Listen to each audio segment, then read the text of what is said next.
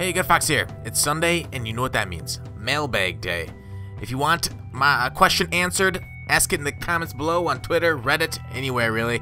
Alright, first question from Daniel Bonilla and Tyler Suarez. They're both asking me about what I think about the Ladarius Green signing.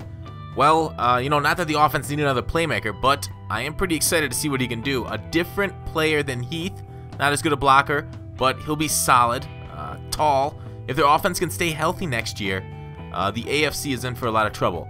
They might have, you know, one of the best offenses probably, you know, ever assemble, I'd say. I mean, that might be hyperbole, but it's going to be crazy. I mean, the best wide receiver in the league and the best wide receiver depth in the league, a top three running back, a top five quarterback, a top 10 line, probably one of the top three lines with Pouncey back if he stays healthy.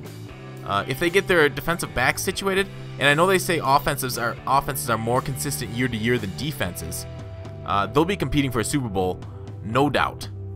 All right, Brandon Green. Next question. Uh, when Vick ran for that touchdown, you were howling like a dog. This is not my Michael Vick review.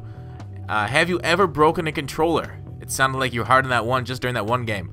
Well, uh, that's just me setting the controller down to, you know, pump my fist or just clench my fists in anger. Uh, I actually didn't uh, think that it was that loud on stream because it's kind of like it's a hard table and it's right on the mic. So I, I don't know what I'm gonna do because I'm gonna continue to set that uh, kind of. It's kind of like setting it down. I don't know. It's slow toss. I've never broken a controller, uh, but uh, let me know if you guys have. Have you guys ever broken a controller in anger or rage? All right. Uh, Evan Robachad says, "Do you stream on Twitch? If so, what's your username?" Uh, I stream at twitch.tv slash muttogteam. It's a team with three other guys that stream. They stream almost daily. Um, I stream when I have time, but YouTube is my main focus, so I can go a week or so. Like this past week's been really bad um, between streams. Uh, I really want to do more because I enjoy it a lot, uh, but unfortunately, you know, uh, life gets in the way sometimes. Uh, all right, Alfredo Burrito says, "Is the 4-3 playbook still worth the 40k for the dime flat?" You know, I think so. Although you can get similar production out of other playbooks now, it's no longer got you know the, the amazing nano on the dime flat that people have to be aware of every play.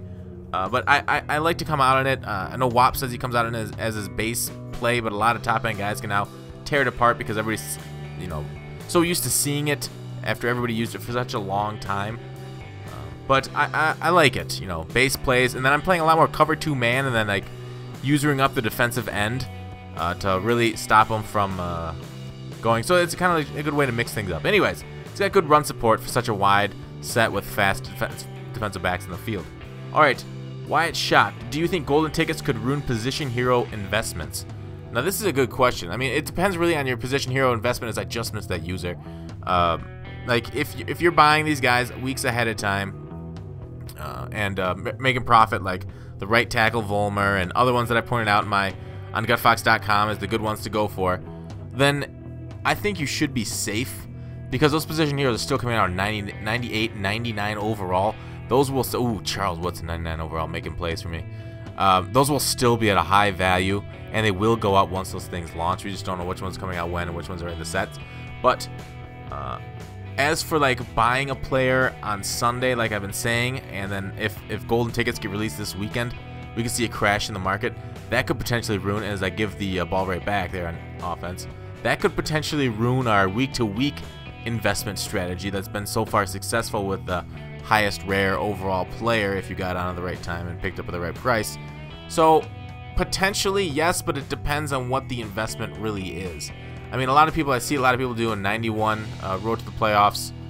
Uh, Devonta Freeman for running back, but like I said in the video, it's really risky whether they put that thing in the uh, game or not. As we inside zone it to Marshall Faulk, and it looks like we've got clear sailing ahead of us. Let's see if I can get one question here from the newest submission on Ask. How do fruit flies suddenly appear when fruit goes bad? Um, it's like when doves suddenly appear whenever you and I are near. No, birds suddenly appear. I can't even get the lyrics right on a stupid song for a stupid joke. That's it. Thanks for watching. Call to action. I'll see you tomorrow.